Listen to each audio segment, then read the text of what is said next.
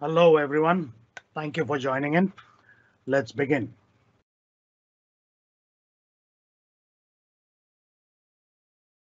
It's good to have so many people in the call. Today we are going to discuss how to use Outlook more effectively, and you'll be surprised at what you may find in the session. There's a quick introduction of what I do. Many of you may already know me, but for those who are new, just have a quick look. I'm not going to read everything out. As you know, we are doing these sessions. This is the eighth session in the series. We are covering all the products from Office 365. Today we are going to cover Outlook and we have covered Word, Excel, PowerPoint, OneNote earlier. So what are we going to do? Lot of topics very quickly. Don't try to do it while I'm showing you. This session will be recorded and the recording will be available very soon.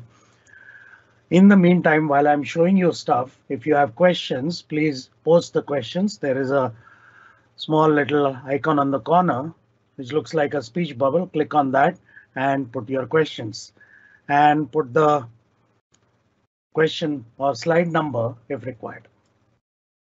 Now, all of us have one common ambition. Doesn't matter which industry, what is your role, all of us want growth. I am sure you'll agree with me. Another common factor is all of us have shortage of time. So obviously, when time is in short supply, what you should be doing is utilize that time more effectively.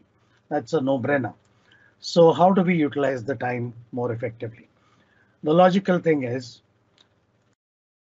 we have to do some kind of time management, some kind of task management, and that's what we are going to do today when you come to office every day, what is the first product you start? I'm sure it is Outlook. And where do you go there? We go to inbox and we go to calendar. Now remember, we want to use the time intelligently. We have time in short supply. We know that, but I'm still reiterating it. You'll realize why. What can you do in a, in, a, in an inbox? Only two things. You can either send a mail or you can reply to someone's mail. So remember, your work is important. If you do your work well, then you will fulfill your JD and the chances of you exceeding the JD is higher. That means you will grow. So my work means I send a mail, reply to someone, I'm doing their work. Same way in calendar. Either I need some inputs from someone, I call for a meeting, people attend. That's my work. And if I attend a meeting someone else has called for, then Obviously, it is their work. So now look at what happens. Think about how many mails you have sent versus how many mails you have replied to. Which one is bigger? Same way, how many meetings you called for versus how many meetings you attended. And it typically looks like this. So in short, what are we doing? I'm doing my work and others work, yes, but the proportion of my work I'm doing is significantly smaller than the proportion of work I am spending helping others. I am not saying don't help others because if you don't reply to others, obviously they are not going to reply to you, but not at the cost of your work. So that's called inefficiency. That doesn't matter whether it's Outlook or Gmail or Yahoo, the concept is a problem. Whose work are we focusing on? It should be your work first, and then by all means you can help others. Now the question arises, when do you do your work?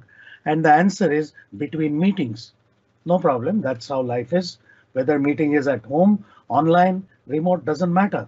We have a lot of meetings and whatever gaps we get, we hope to do our work. No problem. So now let's take an example. I've come out of this meeting between 10:30 and 11. I have a half an hour slot. I need to choose what is the best use of that half an hour. Of course, I have a list of my work to be done, pending work or a task list. The question is, where is that task list? And unfortunately, there is not a single place, even if at individual level, you may have multiple places where your tasks are scattered. And because of that, if you have half an hour and your work list itself is in 20 places, do you have time to sort it, filter it, prioritize it? Absolutely not. So what do you do? You think, oh, my list is scattered all over the place. I can't go and look at all of them. That itself will waste half an hour. So what do I do now? I go to the fastest access. which one of these is the fastest access? And think about it a little. Don't think mobile. Mobile needs power and internet, whatever. The fastest access is mind. What does that mean? We are all ambitious. We have shortage of time. And then when it comes to deciding what to do with that time, which should be an intelligent decision, we do whatever comes to our mind. So for those who understand Hindi, ambition तो बड़ा है, लेकिन काम करने का time आ गया तो मन में जो आएगा करते हैं, which is called inefficiency. So in order to solve that problem, what is the root cause? The pending work is scattered. What is the solution? That also is obvious. Keep all the work in a single place. And surprisingly, the recommended place for keeping a master list of your work is not a subjective decision. It, you don't decide that. You need to find a place which is amenable to becoming a master task list. And that place is the tasks folder in Outlook, which is comparatively rarely used. Everyone goes to inbox and calendar. Very few people go to task folder. So I strongly recommend create a master list of all the work in task folder. Go to task folder. What you see is not the task folder, by the way, that's called a to-do list. The second one is the task folder, which may be empty today. Don't bother. It's OK. We can fill it up. Now onwards, whichever work comes to your mind, someone gives you the work, someone sends it on WhatsApp, it comes as a Word document in minutes of meeting, doesn't matter where the word originates, the work originates, put it in the task folder. It's as simple as going to the task folder, typing the task and putting the due date. That's all. There is a new task button upstairs, but don't use that. That's a lengthy way of doing it. Once you have a master list, you can also categorize it. These are called color categories up to 25 colors. You choose what to call each color. That is step one. That is not the end point. That is just the beginning. Now, obviously, what is step two? You have to do the work. And unfortunately, to do the work, there is no technology available in the world. But to do the work, you need time. And to block time, there is a technology available called calendar. Right now, our work is in task folder. It is not in calendar. So now we need to do put two and two together. So second step is open the calendar. Also open the task list by right clicking on task and say new window. Now we have two windows open and then at least important work which you have drag drop onto calendar. That way you're blocking time to ensure that you do the work on or before the deadline. That is a very good way of managing your time proactively. So what I just did is added a task to a calendar. I did not put the task itself in calendar. That is a mistake most people do. They use calendar like a task. That doesn't work because if you forget to do the task on, in this case, Monday, whatever it is, on Tuesday, you're not going to remember. In this case, even if you don't end up doing it on Tuesday, this task is still visible in your task folder. So now, bottom line, when you come to Outlook, go to task folder first because that is 100% your work. Then go to inbox and calendar, monitor it effectively, and you are on a better path of execution. So what we just did just now, which is take an appointment with yourself to do your own work may sound funny, but that is the simplest and most practical way of doing time management. Think about it a little, try it out for a couple of weeks, and it'll become a second nature to you. All right. Now, lot of work you have to delegate depending on your position, but it has nothing to do with seniority or otherwise. Sometimes some work you have to manage, some work you have to get done from someone. How do you delegate? That is the next thing. Typically, we delegate by sending a mail saying do this on this date. You're going to forget it. You're going to forget to follow up on the deadline. Otherwise, you're creating a separate Excel sheet to monitor and you forget to open the Excel sheet. So it's a disaster. Delays will happen like this. So delegation should be with more accountability and better ability from your point. You should use tasks for delegation. In this case, you go to task folder again, click on the new task button, and then there is a very important button there called assign task. This is where you decide who is the actual person who is going to delegate the work. So it'll give you a to box like an email, but this is a task, not an email. So put the name of the person, put the subject, uh, always put a deadline, and remember what happens. Whatever happens after sending this task, that party may not act on it at all, but a copy of this task is going to remain in your task folder as well. So unlike the email which lies in sent items, which you never go to, this task is going to be visible to you in your task folder as well. So even if the other party sleeps over it, you can work on it. So now what happens? The other person gets it as a task request. They can say accept or decline. And there is the entire workflow. When that person marks it as accept, it becomes a task in that person's task folder. When that person marks it as complete, you will be notified. And the equivalent task in your task folder is also marked as complete. Now you are in a much better way to manage stuff. Now the next topic is how do you monitor delegated work? Because in your task folder, it's a mixture of your work and delegated work. No problem. Go to the view tab, click on the assigned view, and then you will see a nice view, which is excellent for monitoring. It groups it by person and shows you all the work by person. Then you can monitor better. So now we are on a much better path for better execution. Now that task folder has become very important in your life, you need to see tasks on your mobile as well. And that is where the to-do app comes into picture. It's available on Android and iOS. Just install the app, login. It will sync Outlook tasks into this app. It's very easy to use. You can also use it for simple shopping list, checklist, and all kinds of things. So if you have never done it before, immediately after this session, install the To-Do app, start using tasks. Now, few nice things. Many of us work across different countries, so we can actually have multiple time zones in calendar. Some of you may know it, but many people have not noticed it. How do you do it? Just right click on that time go to time zones and set the time zones. That's all there is to it. This is very useful for arranging appointments based on convenience of the customer or the other party. If you don't have this, you're going to some browser based applications to convert time and stuff like that, which is cumbersome and inefficient as well. All right, now taking notes. We do a lot of meetings. How do we take notes? We take notes using paper, all kinds of things, and then we can't find them. The correct way of taking notes is in such a way that the notes are linked to the calendar. So go to calendar, right click on the meeting, then choose meeting notes. A detailed version of this has already been covered in the OneNote session, which we did a couple of days back. You can see the video for more details. Now it'll ask you which notebook do you want to put it in. Choose the notebook. It creates a nice new page inside OneNote, and that page is automatically linked to that particular meeting. Even if you did notes on paper, you can take a photograph of that paper, put it here, and still your notes get linked. So it's very nice and useful. If you have the latest version of Office and Office 365, artificial intelligence can help you.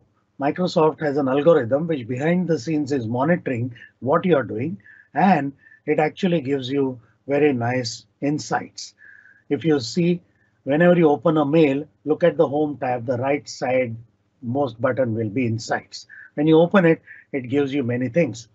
Even if you have not added something as a task, but it implies a task, it flags it here. I have said, let's have a meeting day after tomorrow, but I did not put it as a task. So it's saying follow up on your request. And there are 11 other people where I have mentioned something which sounds like there needs to be a follow-up, but I have not formally put it as a task. So this applies AI to understand the way you communicate with people and discovers useful things from it. It also helps you plan focus time. You can have half an hour focus time at the time of your choice, and then it improves your concentration and minimizes distractions. So that is insights. If you have not done it before, have a look at it. This insights thing can also send you a weekly report giving you more ideas about how to optimize your time and your tasks. Now, the most important topic is when not to use Outlook. So this sounds like a very complex chart. As of now, the chart cannot be fully explained because other products we have not covered. But just remember, Outlook should be used lesser and lesser in today's world. So forget the gray part look at the colored part. When you have to communicate with others Only if it is ad hoc work, which is not urgent, then you use Outlook. Send a mail, hope that people will reply. That is the only purpose Outlook should serve today. For all other objectives in terms of communicating with others, there are better suited products available. Why am I showing this? This is to do because we are going to manage our tasks definitely using Outlook and to do app on the mobile. So that is how Outlook has a much more limited role. Earlier, Outlook was the only method of communication other than sending paper by courier. But now things have changed and we also have to change our behavior accordingly. Now, this is not a topic I'm going to cover, but if you are from IT, I, I hope you have already enabled these features, safe links and safe attachments, because even today, after IT being there for 30 years, the commonest vector from which viruses come is infected links and infected attachments. Whatever amount of user education you do does not work. People still click and open. So Microsoft Office 365 has a feature called safe links and safe attachments, where even if the link is infected, even if the attachment is infected, even if you don't have an antivirus installed, it will not harm you. So if you have not done that before, do it. And for confidential stuff, we have a technology called IRM, which gives you a button called do not forward. So if you send a mail to someone with do not forward, copy paste is disabled, screenshots are disabled, and the forward button is disabled. This is used for confidential reasons. OK, so that's all we have time for. Uh, few things I'm going to mention. I know I have exceeded time, but there are a few things which are just worth mentioning. I'm not going to talk in detail. So I call them hidden gems. Simple ways of making your email communication more effective. Everyone sends black emails to each other. Please use color. That makes it more interesting, does not cost you anything, but it is more effective. If you are sending a mail to someone which has a lot of questions, what is going to happen? That person is going to click on reply and after every question, they are going to press enter and say my answers are in line and then you're scrolling and struggling. If that is the case, create a table. In first column, put your question. Second column, people can reply. Much more simple structure. Hyperlinks everyone knows, but what you don't know is if you use styles, then if you're writing a long email, within the email you can create hyperlinks. So select something, insert hyperlink, place within the document, then it shows you headings in the mail and it becomes easier to navigate long emails. Why is it important? Because the longer the email, the lesser are the chances people are going to use it or read it fully. The next one is send links. We saw that in very great detail yesterday with OneDrive. Start sending links instead of attachments. See the video yesterday to understand details. Repair subject is common sense. Very often someone puts you in CC, there is subject X, and then you're saying reply, reply to all, add someone to CC by the time the subject has changed, but nobody bothers to change the subject. So simple best practice, whenever you are replying, just look at the subject, check is it relevant. If not, change the subject to what it should be in the current context. Mail tips is a default feature, but nobody reads it. There are yellow bars on top which says you're attaching a file and sending the mail to someone and that person is out of office. Why are you sending that mail? So many common mistakes which happen after sending the mail can be prevented if you just read those mail tips. Close all windows. I'm sure you have faced this before. Suddenly at 12 o'clock in the afternoon, there are 20 email windows open, 20 calendar windows open, and machine becomes slow. So in view tab, there is a nice little button called close all items. This is an Outlook feature it closes all unnecessary Outlook windows, emails, calendars, tasks, everything. If something is not saved, it will not close them. So don't worry. Very nice way to declutter your desktop. And lastly, this is something maybe all of you require, but nobody has noticed. In calendar, you can control click on individual days and you get a custom sort of calendar view. So notice 3, 7, 13, 15, 28 random days I have selected in fact, you can do across two months by just control click. So these are some simple, effective hidden gems. So now I'm going to actually stop and help you ask questions. So if you have any questions, please ask. Mention the slide number if required, and Zeus is going to help us read out the questions. First question is, Yeah. How to improve the search functionality of your inbox sent mails? I usually go to my Gmail business account and search for old mails. So if you have configured Gmail in Outlook, you, you can do all kinds of searching in Outlook.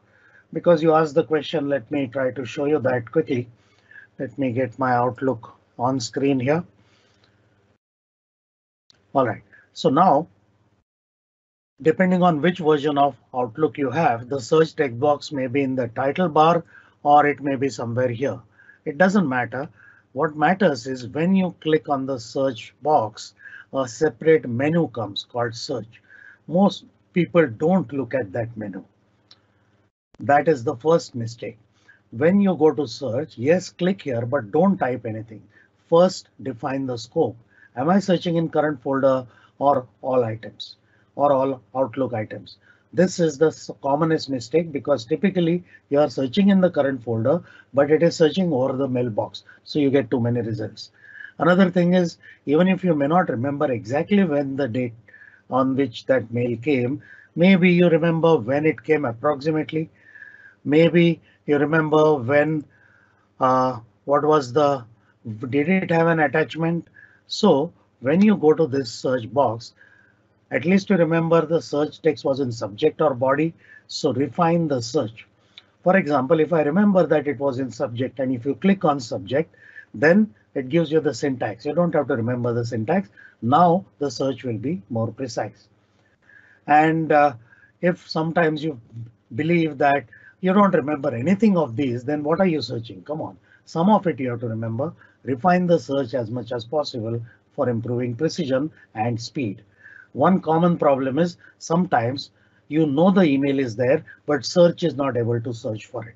What do you do then? Again, go here, go to search tools, click on indexing status. By default, this guy should show you nothing is remaining to be indexed. Zero items remaining should be what happens. If there is a large number there, that means something has happened upgrade has happened, laptop has changed. So Outlook has not been able to look at all the emails you have. So leave the machine on overnight and morning it should be zero. Then your search accuracy will be good. So that's quickly about how to optimize search. The concept remains the same, whether it's a Exchange mailbox or Gmail mailbox. Next question. How to configure security in Outlook? OK, so Outlook security is something a user cannot configure beyond a point. It is an IT level question, so probably we'll have to do a separate uh, session for that because it's technical. But at IT level, lot of security is already there. But the new features like safe links, safe attachments and IRM are very important. And the other feature which you should be worried about now is called sensitivity. So let me try to show you that as well, which is categorization or sensitivity labels as it is called. This also requires configuration to be done by IT. It's, there is hardly anything you can do in the context of Outlook security at individual user level.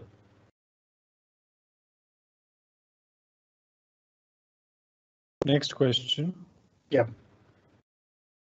Linked notes to meeting. Please Yeah. explain one more time. OK, so let me try and see if I can show you a quick demo. So I have a calendar. I am in this meeting. I want to take notes about this meeting. So I go to the meeting and then I right click on the meeting. Just give me a second. So I right click on the meeting, choose meeting notes and just follow the prompts. This will invoke OneNote. It will create a new page in OneNote. That new page in OneNote is better than a new page on your paper diary or a new document in Word because that page gets automatically linked to that meeting. So whatever notes you take there, six months later you want to find the notes, you go to the calendar entry, right click, choose the same option called meeting notes, and now Outlook will find the notes for you. That is how linked notes works. A detailed demo has been shown and discussion is there already in yesterday, the OneNote session we did a couple of days back. Next question. Where is the insight option? Good question. So when you create, open a mail, let me try to do that. You go to inbox, you open a particular mail. Let me go to something and open a mail. Here on the home tab, insights. So it'll give you all the AI based insights it has found from the way you use Outlook. These insights obviously will be different from person to person and even for you next month or next week or even tomorrow, the insights may change. Next question is regarding something which you just showed. It is very difficult to search old emails. Sometimes emails hide. What I don't know what. Yeah, I don't know what you mean by emails hide, but uh, uh, I just explain how search has to be done more comprehensively by refining it by using the search toolbar better. So that should solve this problem. Next question. Sending link of my file shows the entire path of my OneDrive, which I don't want others to know what to do. Mm, I don't think there is a way to solve that problem because if it has to go to OneDrive, it has to show the whole path. Sorry. I don't know of any way of hiding or obfuscating that path. Of course, you can shorten the URL, but when you click on the URL, it's going to get unshortened anyway. Next question. Is there inbuilt ability in Outlook where we can download attachments from many emails in one go? Uh, there is, mm, there used to be, but I'll tell you the right answer. If you want multiple attachments to be downloaded to a single folder, there is a reason why you're doing that. You're not randomly selecting mail. There is a filter condition for which you are doing it. If that is the case, then you should use flow or now it is called Power Automate. For example, I'll give you a situation. Let's say you have floated an RFP or asked for quotation from vendors and 20 vendors are going to reply to that mail and they're going to attach the proposal as attachment. You don't want to waste time finding those 20 mails and manually save as save as 20 times. If that is the scenario, then use Power Automate. It can look at your inbox. You can define the search criteria and then it can detach the emails and put them wherever you say, either in OneDrive or Teams. If you don't have Power Automate, then the only option is to create a rule, but again, that has some limitations. The most comprehensive option is programming, but that's not something everyone can do, and I wouldn't recommend that as well. Next question. How to search within the email ID? How to search within the email ID? I don't understand the question. So you mean there are multiple email IDs and you want to search within them? I guess you click there and search. I don't know if there appear humongous number of email IDs. Yes, I know it is a problem.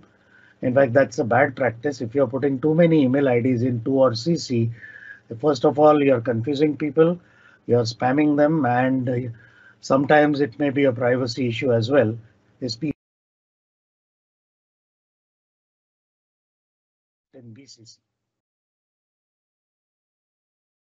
I don't know of any method of searching specifically in to.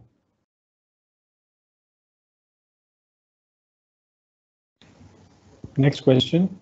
Yep. How to backup IMAP emails? Like any other thing, just say export, file export, and it will save it as PST.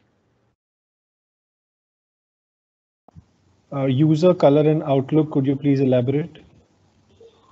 Ah, all I mean is if you are sending a mail to someone, all the emails and all the replies to emails use font color black. So just change the color, use a darker blue, use a purple. Don't make it gaudy. But if you are highlighting something, why just keep it black font? Just there are lots of colors there. I'm not saying use all of them, but just make your mails little more interesting by adding the right dash of color. That's all I mean. Font color in this case. Next question. Is to do and task link to Google Home or Alexa? Uh, no, not to my knowledge. Alexa maybe. Uh, I have not tried, but probably someone has done it already, but I, I don't know offhand. Next, Ravi says, thanks. If possible, please conduct session on security. Sure, I will. Uh, next, could you please show us how to create a mail template or a standardized reply? Sure, that's quite easy. So let's say you get emails from people and you're replying to them. So let me. So because it's a template, you should keep only things which are common across multiple instances like any other template. So avoid putting to. But let's say in this particular thing, this is a service request and you want people, your boss to be always a part of it. So I'm saying boss will always be there. And then uh,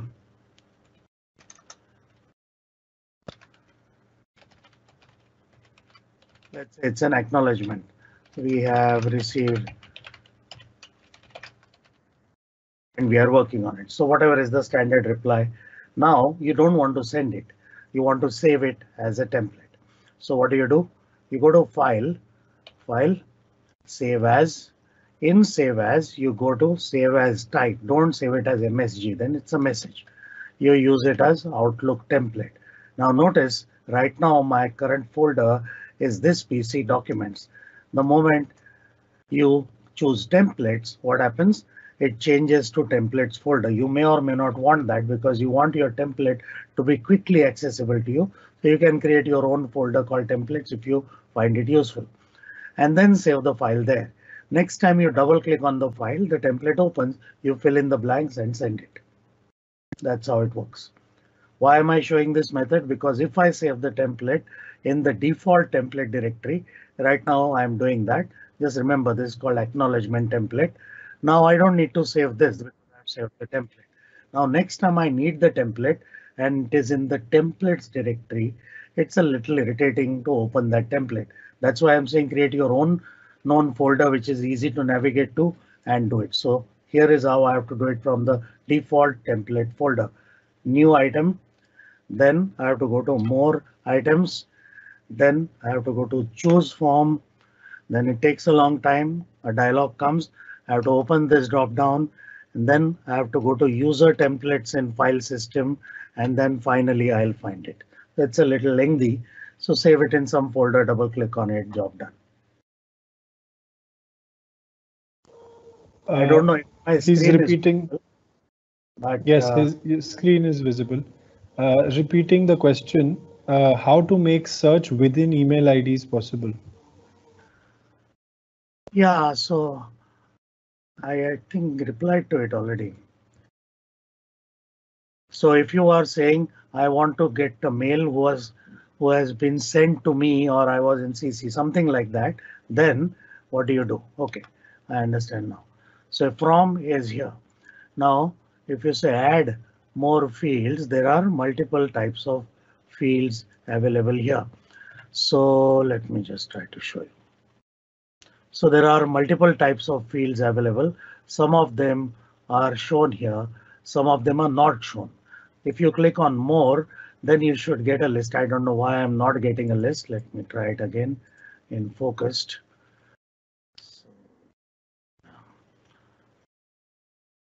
I don't know. There is a long list of items here which should have to and CC as well. So yes, it is possible. Search for that button in the more of search toolbar. That's the answer. Next question. What to do if the other person deletes the task that I've assigned to him? That's what I said. So if you are sending a mail, then neither are you following nor is that person acting. So both ways you are stuck. If it is a task which is delegated, forget about the other person delegating the task. That person doesn't notice it also. Obviously, they are not going to work on it. Bottom line, the other person doesn't do anything. Agreed, that's a problem. That is why a copy of that task is visible to you in your task folder. And now that we are using task folder as the master list of our life because our execution, our life, our ability to deliver what is in the JD and exceed it, that means our growth depends on the task folder. We are going to monitor task folder actively at least twice a day. So you will notice that delegated task which is either getting delayed or about to get delayed and you will follow up, delegate it to someone, fire that guy, whatever it is. Next question. How to sync all folders including sent folder using POP?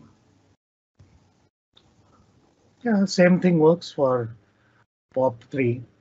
But I would suggest in today's world, as far as possible, avoid using POP3 and IMAP. If you have a choice, use IMAP because that gives you better sync.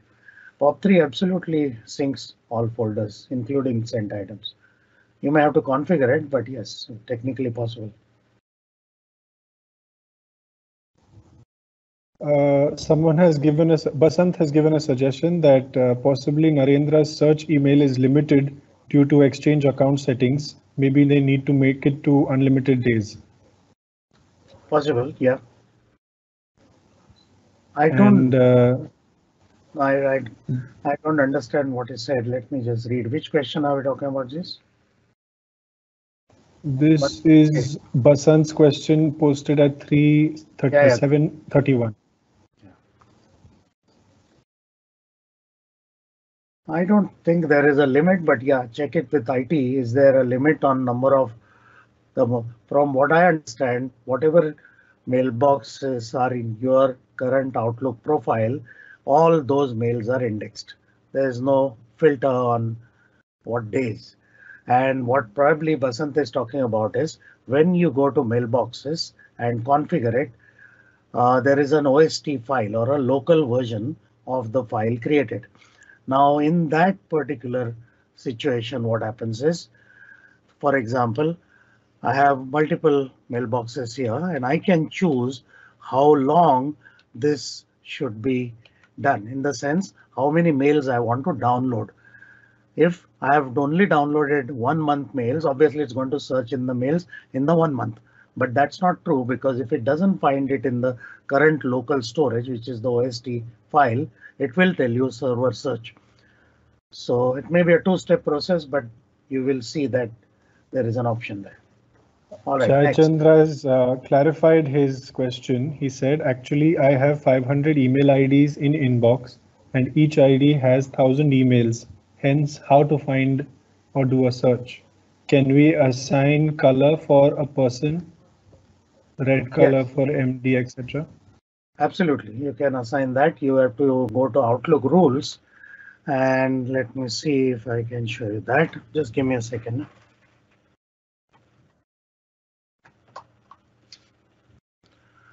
So if you go to inbox and if you go to rules, you can create very, very sophisticated kind of rules. Now in rules, there are two options, create rule and manage rules. The more comprehensive dialog comes in manage rules. So when you go to manage rules and then you say new rule, typically you start from a blank rule. So apply to messages when I receive blank rule. This gives you maximum flexibility. So here you can put where whether it came from someone, whether it was sent only to me, whether my name is in to box, whether what all kinds of things are here. So here you can put the person's name and then next step. So assume for the time being, I'm saying sent only to me, but you can use the other one. Now, how do you color it? That is why you use assign it to a category. When you choose a category, as I said, there are 25 colors to choose from. You can customize them. So for example, if I say if the mail is only sent to me, then I want to call it high priority. No problem. Then click OK, click next, click next, and then it'll apply it. You have to retrospectively apply it manually, prospectively it will get applied automatically. So yes, that can be done using rules. Next question. How can we use Outlook as a data collection, such as filling form and submit? Yeah, so data collection forms are available for a long time in Outlook, but in today's world, I would strongly suggest those are Outlook dependent and they may not work on browser at all. So use Microsoft Forms or some similar tool because when you're collecting data, you don't want it to be hard coded to a particular tool. So use some kind of forms tool. If it needs to be integrated with Outlook and with your staff with Active Directory, then Forms is the best option. If you have a more complex form, then you can use Power Apps. Your data may remain in Excel or SharePoint, but you can create a very well designed form with all kinds of UI sophistication using Power Apps. If you want a simplistic form, use forms. Next question. Can we link Google Calendar? I think so, yeah. So once you configure your Google account, Calendar will get configured as well. So you'll see multiple calendars there. Uh, Narendra says he's from IT and his users are facing an issue. They are unable to search their email. Yeah, so Narendra, I suggest you go to those specific desktops and check the indexing status. Indexing service may not have indexed all the emails or the index may have got corrupted, in which case you have to rebuild it. So you have to go to indexing options and say rebuild if that is the case. There is a hotfix also which can do it automatically. There are no more questions as of now. All right. So while we wait for some questions, let me go through the PPT. There's another question. Okay. For MS Forms, when I share to outside organization, it disallows to upload files. Is there any solution to it? Uh, no, I don't think so. Uh, if you really want a solution, then let use something else. Uh, Mehul has a question. Can people outside organization use Power Apps? No, not as of now. But if you have a Power App, you can export it as a template. Someone on the other side can do it. And if you have Azure B2B configured properly, then I think there is a way to use Power Apps. But if you just send it to random public, no. So this is the schedule. We have many more sessions coming up, same time, same place. The videos will be available on this link bit.ly corona ddpl pl for playlist. This will be on my efficiency 365 YouTube channel. If you have not visited it, do visit it. There are a lot of good content there. And if you want to read all the Outlook articles I've written on my blog, there are 75 plus actually, much more than that. Outlook KKP. I must thank Shesham, Manindo and Zias for helping me in this venture. We have been working hard to make this happen as smoothly as possible, despite all the bandwidth constraints and all the things which are going on today. So thank you, Shesham, Manindo and Zias. Uh-huh. When there is a meeting request is accepted and you send a response to the host, email gets deleted. What to do?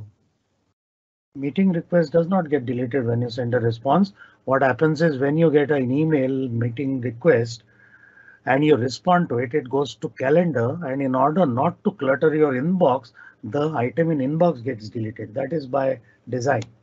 If you want, you can go to tools options and configure that should not happen. So thank you again. Bye bye.